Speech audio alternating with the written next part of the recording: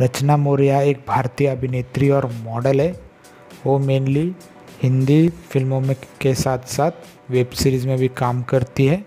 आज वो पैंतीस साल की वही पर सक्रिय है। दोस्तों, इसी वीडियो के चैनल को सब्सक्राइब करें। ये वीडियो आपको पसंद है तो लाइक शेयर कमेंट ज़रूर करें। मिलता है अगले वीडियो में। धन्यवाद।